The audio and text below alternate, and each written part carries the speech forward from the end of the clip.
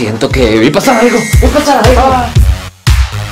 Es hora de descubrir el castillo abandonado de Carac y sus fantasmas e historias de la época de las cruzadas.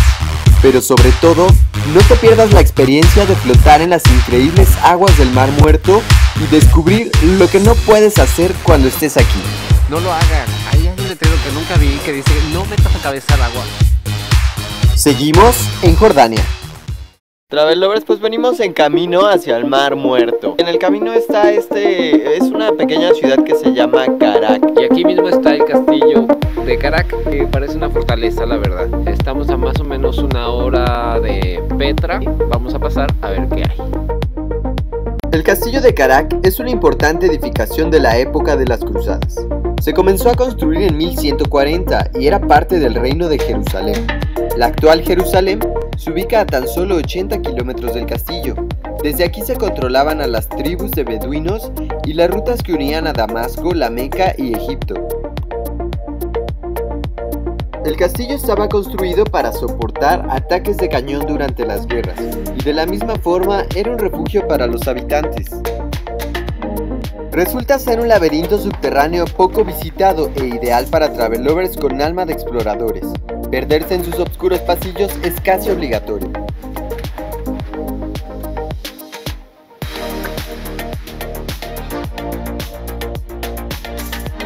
Pues déjenme les cuento que este lugar lo construyó el rey de los mojabitas, Mesha, por ahí del 900 a.C. Al principio era un templo dedicado al dios Chemosh. Entonces, de ahí fue evolucionando hasta convertirse en un castillo y una fortaleza. Estamos aquí, siento que vi pasar algo, vi pasar algo.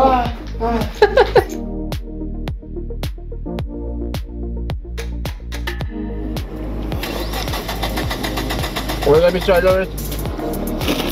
Nos paramos a comer aquí en una tiendita que vimos en el camino hacia el Mar Muerto y miren, nos compramos unas papas grandes, eh, están grandes. Un chocorrol estilo jordano. Unos waffles. Un estilo rollo chocolatoso. Una dona. Dos sopas maruchan. O pop me.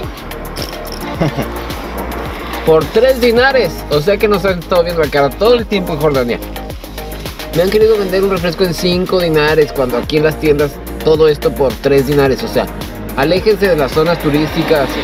Coman en los lugares donde no se ve así muy turístico porque le sacan un ojo de la cara. Para el turismo este país es sumamente caro.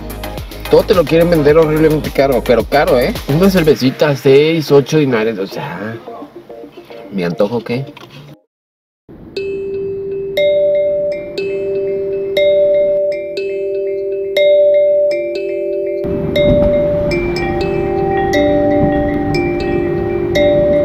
Hey mis travel lovers, pues ya estamos a un paso de llegar al hotel, pero no pudimos resistirnos en bajarnos del coche. Es un espectáculo, vean el azul de estas aguas, es nada más y nada menos que el Mar Muerto. Nosotros en Jordania, el Mar Muerto e Israel ahí al fondo. El Mar Muerto en realidad es un lago salado situado en una depresión de 430 metros por debajo del nivel del mar. El frío en Jordania nos tomó por sorpresa, llegó hasta los menos 4 grados y me hizo pensar que meterme al mar sería casi imposible. Pero la temperatura aquí ya está en 24 grados, así que meterse al agua ya es una posibilidad. La industria del turismo ha florecido aquí gracias a que las aguas del Mar Muerto tienen un alto contenido de calcio, magnesio, potasio y bromo, lo que lo convierte en un spa natural para la piel. Esta idea atrae a miles de personas al año. Este miedoso, vean, ven ensueterado y todo. Yo jodiendo de manguitas. Y él ensueterado. No importa que esté en punto de congelación, no voy a dejar de meterme al mar muerto. Porque quién sabe cuándo vuelva a venir. Si es que algún día en mi vida vuelva a venir. Yo lo voy a intentar. Yo con el agua fría no me llevo, pero ni tan. Este no se lleva con el agua, o sea, de frío o caliente le da igual. o sea, así me baño. Mira nada más, qué, qué bárbaro.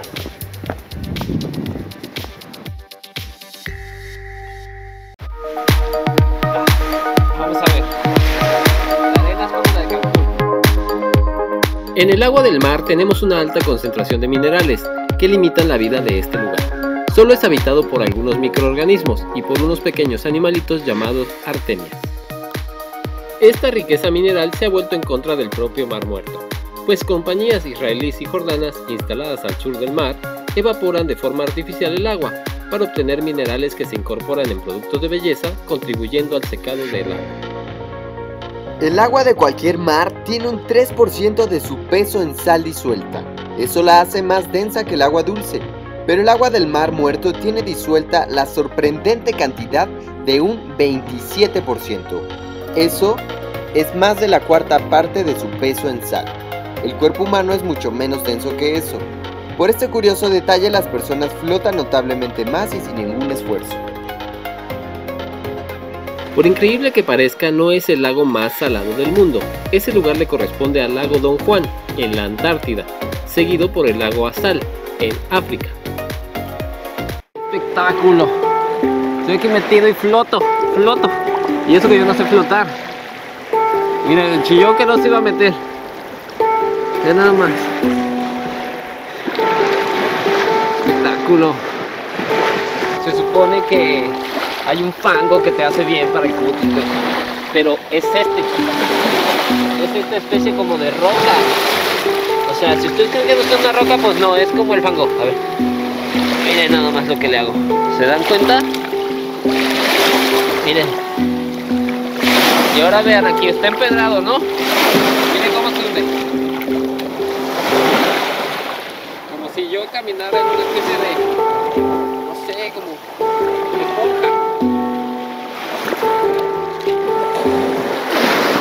huele horrible.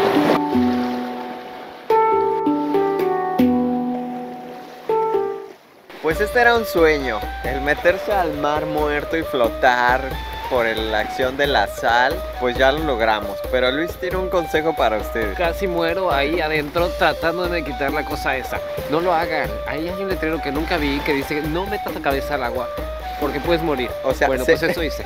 Se puso el lodo en la cara y se le ocurrió enjuagarse en la misma agua del mar. Está tan salada que no sabe a sal, o sea, uno esperaría que fuera algo intensamente salado. No sabe a sal, sabe como que se te va a caer la lengua y No, una inmediatamente que me puse el agua en la cara, se me empezó a secar los labios. No es mentira.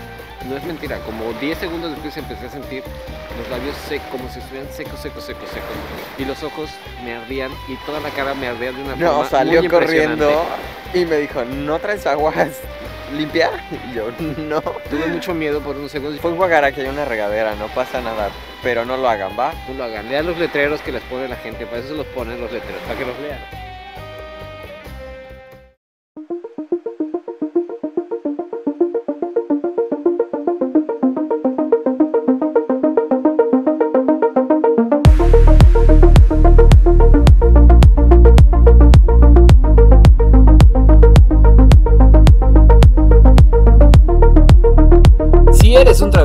Remedio, no dejes de suscribirte y no olvides darle like. Déjanos saber lo que opinas escribiendo un comentario.